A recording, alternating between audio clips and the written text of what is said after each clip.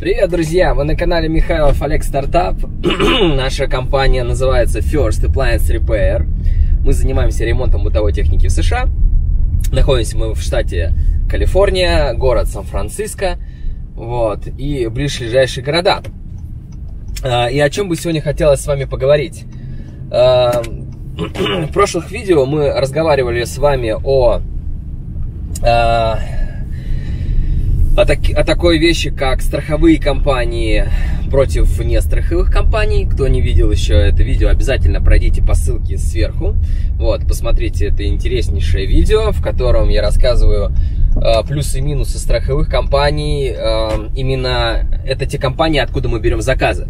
Вот, а сегодня мне хотелось бы с вами поговорить о такой вещи, как страховка для сотрудника, для техника. Страховка для техника. А, о чем же пойдет речь в этом видео? Не переключайтесь, оставайтесь с нами и поехали, расскажу вам а, про страховки для техников. И не только.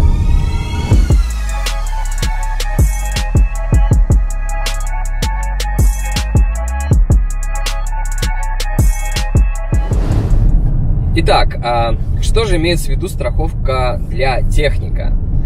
А, когда вы работаете, да, вы работаете достаточно в такой, э, можно сказать, опасной зоне. И э, многие компании, многие компании, они э, спрашивают, а есть ли у тебя страховка, чтобы ты работал с нашими appliances, да, с нашими, вообще, вообще, чтобы ты делал какой-то ремонт.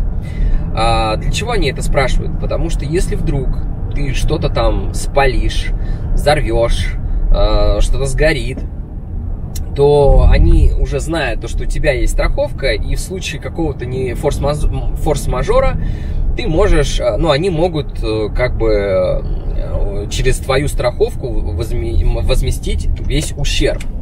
Вот, в противном случае, если у тебя такой страховки нету, да, то просто либо ты будешь этого из своего кармана как-то, да, все компенсировать. В общем, это, ну, в общем, это своеобразные проблемы. Поэтому э, у всех техников должна быть страховка. Вот, у всех техников должна быть страховка. Э, э, и у компании, естественно, тоже должна быть страховка. И вот сейчас я вам немножко расскажу. Давайте сначала начнем с компании, а потом уже локально по технику начнем рассказывать, какие тут бывают подводные камни. Поехали. Итак, а, значит, а, у компании, да, когда вы создаете свою компанию, у вас должна быть страховка. Страхов, страховки бывает, а, так скажем, несколько видов. Первая страховка, которая покрывает до миллиона долларов, называется она Liability of Insurance. Вот. И вот эта вот страховка, она покрывает э, весь принесенный ущерб до 1 миллиона долларов. Вот, если вы при, при, принесли ущерб больше, чем на 1 миллион долларов, то остальное вы платите из своего кармана. Вот. А также есть страховка, которая называется Umbrella. Зонтик. Вот эта страховка, она уже покрывает все то, что свыше 1 миллиона долларов США, да, э, весь тот ущерб, который вы принесли свыше 1 миллиона долларов США. Вот.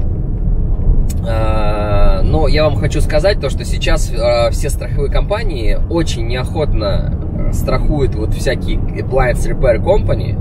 Вот, с каждым годом все хуже и хуже, все как бы больше и больше за это просят денег, потому что очень много компаний ошибочно, на мой взгляд, да, клеймят а, разного характера вот проблемы. Там потек, потекла вода, поцарапали полы. Вот. И вот из-за этого страховки не очень сильно хотят э, работать э, в сфере appliance repair, вот, либо делают просто страховки очень дорогими. Поэтому имейте в виду, если вы хотите взять страховку то на, на свою компанию, то делайте это побыстрее, находите хорошую компанию и начинайте с ней работать. Это важно. Так, значит, э, допустим, что у компании, да, есть э, вот эта страховка, у нее есть umbrella, у нее есть все. В год вы заплатите примерно, сейчас я вам скажу, где-то полторы тысячи долларов за год вы потратите на вот эту всю страховку. А, также есть страховка Work, work Compensation, а, это еще один вид страховки, но она нужна только для тех компаний, если у вас есть сотрудники в штате. То есть, если у вас сотрудники работают не как контракторы, не, не по договору, да, а те сотрудники, которые у вас находятся непосредственно в штате. Вот тогда нужно work compensation, э, страховку тоже создавать. Э, вот. А, хочу сразу сказать, что многие страховые компании а, они вообще не хотят работать с компаниями, у которых нету uh, work compensation. То есть они говорят, так, у вас есть сотрудники в штате? Если нету, вы нам не интересны. То есть мы не хотим работать с компаниями, у которых одни контракторы. Да? Поэтому чисто в теории, uh, как, ну, чисто, да, теоретически, та компания, у которых э, есть свои сотрудники на employee, да, они намного будут, так скажем, более выгодных условиях, и им будут давать хорошие контракты, им будут давать работу, чем э, те компании, у которых только одни контракторы. Вот. Это первая такая заметка. А, дальше, что бы еще хотелось вам рассказать. А, вот когда у компании есть а, страховка, а, как бы это парадоксально не звучало, но нельзя клеймить а, этой страховкой Э, разного рода косяки техников. Ну, что я имею в виду? То есть, например, техник пришел на заказ, э, не закрутил воду, да, вода там залила полы, полы, полы все вздулись, клиент недоволен звонит, он говорит, давайте решать проблему. Вот, и э, как бы, на мой взгляд, не, не, ну, как бы не самый опытный руководитель, он просто возьмет и отправит клейм в свою страховую компанию, и эта страховая компания, ну, то есть решит этот вопрос, там, поменяет полы, вот, да, но после двух-трех таких клеймов ваша страховка станет стоить не полторы тысячи в год, а под пять тысяч долларов в год. То есть, э, э, что я хочу этим сказать? Я хочу этим сказать, что страховка, она должна, ну, компания, она должна быть только для очень-очень э, крайних, крайних случаев, когда что-то случается очень, ну, такое серьезное.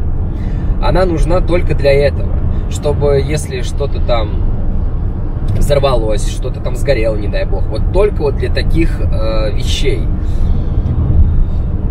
И максимально стараться вообще не пользоваться своими страховыми э, страховками и не клеймить. Клеймить это значит отправлять запрос, на, чтобы страховая да, там, решила за вас вопросы все по деньгам и так далее и тому подобное. То есть ну, стараться не клеймить. Потому что я вас уверяю, через год, когда вы э, удивитесь, то, что страховая вам просто откажет в продлении контракта, и они скажут, ребят, извините, вы нам прислали слишком много клеймов там, да, вот, мы как бы не... ну, следующая страховка для вас будет стоить столько-то, столько-то. Вот. Поэтому для всех, кто собирается на свою компанию, да, создавать эту страховку, помните вот про этот факт и не клеймьте лишний раз. Как же выходить из ситуации, да, как же, ну, э, я знаю кейсы, как, э, ну, принципе, как? Э, очень просто. То есть, если техник, э, так скажем, да, он контрактор накосячил, у этого техника-контрактора у него должна быть своя страховка. Вот. И он должен иметь свою страховку. И, э, ну, даже желательно, чтобы техник тоже не клеймил свою страховку. И желательно с клиентом расходиться, так скажем, как-то, ну, грубо говоря, за свой счет. Вот. Чтобы и страховка для техника не удорожалась да, чтобы тоже не было вот таких проблем. Вот, а со стороны компании, я думаю, что компания может помочь технику, а, как бы там частями, а, у него удерживать некую сумму из зарплат, да, а, в счет того, что, ну, как бы техник покроет ну, то есть покрыть, ну, то есть, смотрите, компания сама покроет все, ну, там, проблемные Э, вопросы, то есть она там заплатит за новые полы 3000 долларов, Вот. Но у техника не будет удерживать эти 3000 долларов, да, а у техника просто будет так, какими-то там мелкими частями, там, по 200, по 300 долларов просто списывать э, там ежемесячно, чтобы технику не было это накладно. Э, как бы, знаете, такая компания дает типа рассрочку технику за то, что он там э, попортил все полы ну что-то типа такого, вот. И такая схема, в принципе, нормально работает, э, и технику окей, он в следующий раз будет думать, что, что делает вообще, чтобы там ничего не, не сломать, ничего не спалить, вот, и плюс э, по нему так сильно не ударит, чтобы он там смог дальше продолжить э, безболезненно работать.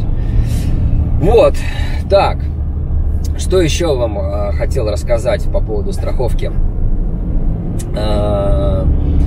Где можно сделать эту страховку, да, а, ну, обычно вы звоните какому-нибудь агенту, вот, и агент э, уже отправляет запросы разным страховым компаниям, да, вы должны заполнить, э, вы должны будете заполнить э, ряд бумаг определенных, для этого агента, да, там название вашей компании, сколько компания лет существует, э, сколько у нее сотрудников, ну, то есть вот такие вот все вопросы. Вот, агент рассылает это все по страховым компаниям, и та компания, которая отозове, от, отзовется, согласится застраховать, вот в той компании мы и застрахуемся. Вот. Как-то так это работает. Вот, э, друзья, если у вас еще остались вопросы по данной теме, напишите, пожалуйста, в комментариях. Вот. Э, не забудьте подписаться на канал. Э, мы стараемся выкладывать много полезной информации на нашем YouTube-канале. Вот. Ставьте колокольчик, чтобы не пропустить о новых видео. Вот. Э, так что вот в рамках сейчас вот этого выпуска я предлагаю закончить. Вот. Ну и, соответственно, увидимся в следующих сериях. Вот. Всем пока. До встречи.